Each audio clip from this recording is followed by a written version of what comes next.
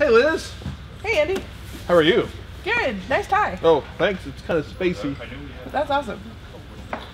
So, what are you working on? I am assembling a Banebot Sport gearbox for the robot that we're building. Oh, neat, neat. I see we have a couple different ratios here. Yeah, um, we're actually offering and expanding the ratios that we offer this year. Everything from 4 to 1 all the way up to 100 to 1. Okay, okay. Uh, right now, I'm working on a 12 to 1 Sport uh, gearbox. Now, did you did you grease that yet? No, I'm working on that right now. Okay, okay. Yep. So, um, when the teams when the teams get these gearboxes, tell me what they how they go through the process of assembling them and getting the, their caps ready and that kind of stuff. So this year, since we're expanding our offerings, we have uh, each gearbox ships with a plastic cap that you can remove. Make sure that you grease your gearbox prior to use, and then you can um, add your back plate on in order to mount whatever motor that you, you want to it. Um, I'm going to be using the two motor sport gearbox uh, to mount two 775 Redline motors for this robot. So last year we had the 57 Sport and the CIM Sport, and you're saying that the this this thing here is going to give us two motors into the gearbox. That's right. This is a new product that we're offering. Okay. It allows you to connect two 775 Redline motors directly to the main Banebot gearbox. Um, but you can also still mount your CIM motor or your 57, uh, 550, or 775 motor directly to this gearbox using these other back plates. Cool, cool. Okay, so tell me more about this this two motor gearbox. I'm intrigued. Yeah, so the two motor gearbox, besides mounting directly to the Sport, it also has an option for a 3 8 output shaft or a 8 millimeter output shaft that's same as a CIM, so Okay. emulates a CIM.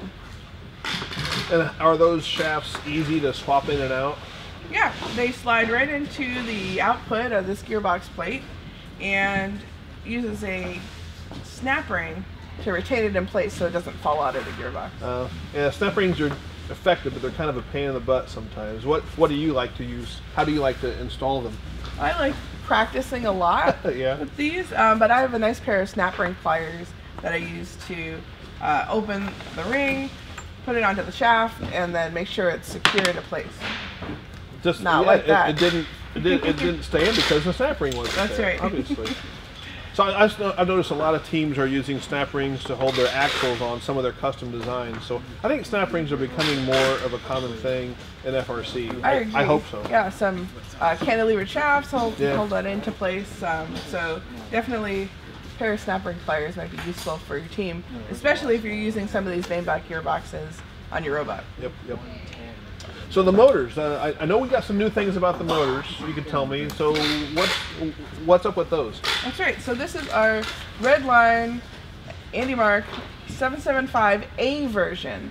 Uh, this is a motor that's 10% faster than our previous version, and therefore has, has a higher wattage as well. A, as in like Canadian A, or A, Mm, More the letter A. More like the letter A. Andy. Letter A. Okay, okay, okay. A. Okay, A. Okay, yeah. So I can see on here. It's kind of hard to see with my old eyes, but um, there is a 775A at the end of this 775 part on here. So that tells me this is 10% faster. That's right. So you may want to be careful when you're using these motors with the older version, um, and just making sure that you know which version you're using on your robot. Yeah, I could see that. Might have to. Some teams might want to change their ratio depending on what motor they're using. Even even though a 10% change isn't a lot, it might be enough to go to the next stage of ratio. Yeah, that makes a lot of sense. Okay, cool.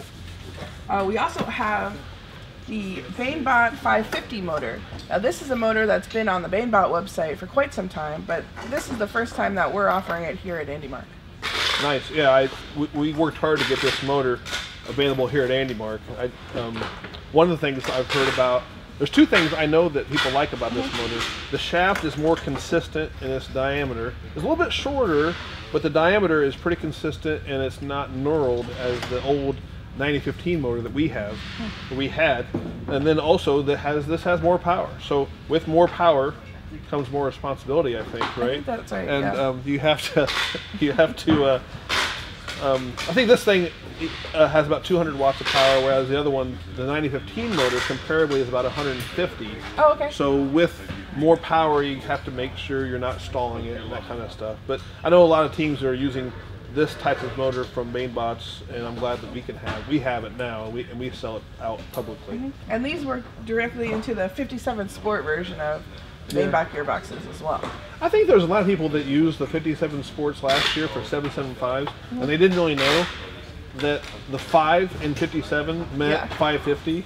So I, I think that most of the uses were 775s, but you can see the little Yeah, the Little hole. dual-purpose mounting plate mounts to both of the hole patterns and both types of motors.